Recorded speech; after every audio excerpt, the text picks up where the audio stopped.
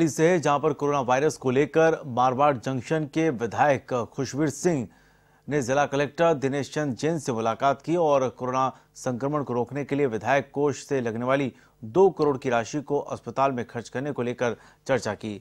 साथ ही मुख्यमंत्री सहायता कोष में एक लाख रुपए का चेक भी दिया।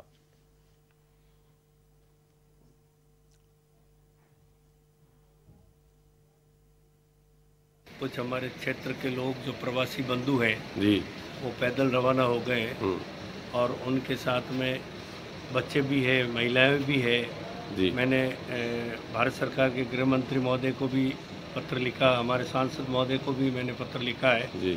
कि उनके लिए अनुमति दें व्यवस्था कराएँ। और राजस्थान सरकार को भी लिखा अगर बॉर्डर पे वो आ जाते हैं और राजस्थान सरकार से भी निवेदन किया कि आप भी मांग करें भारत सरकार से कि उनको अनुमति देने पर बॉर्डर पे उनके चेकिंग करवा के अच्छी तरह से डॉक्टरी करवा के और उनको राजस्थान रोडवेज़ द्वारा व्यवस्था करवा के उनके गंतव्य तक पहुँचाने की व्यवस्था की।